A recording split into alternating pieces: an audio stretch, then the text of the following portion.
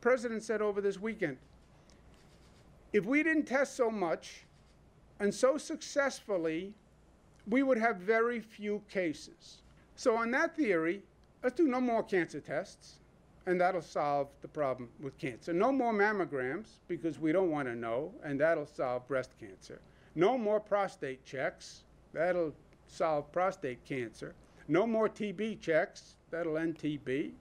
Uh, no more HIV tests, and that will solve uh, the AIDS issue. No, not knowing doesn't mean you don't have a problem.